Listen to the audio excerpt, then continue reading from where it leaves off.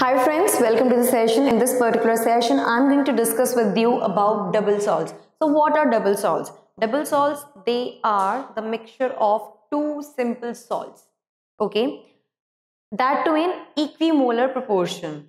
So they are the mixture of two simple salts in equimolar proportion fine. And moreover these double salts they exist only in solid state. They exist only in solid state. They do not exist in aqueous solution because in aqueous solution they dissociate completely into ions.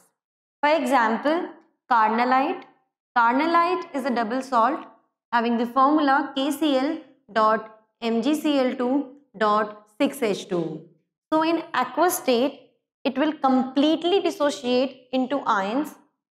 It will have K positive plus Mg2 positive plus 3Cl negative plus 6H2. So in aqueous state, it will dissociate in these particular ions. That means it will dissociate completely. Talking about the next salt, next double salt, which is Mohr salt.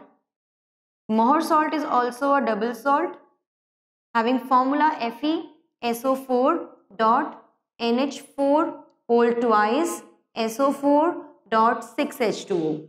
So it will also completely dissociate in aqueous solution having the ions Fe2 positive plus 2SO4 2 negative plus twice of NH4 positive plus 6H2. Fine.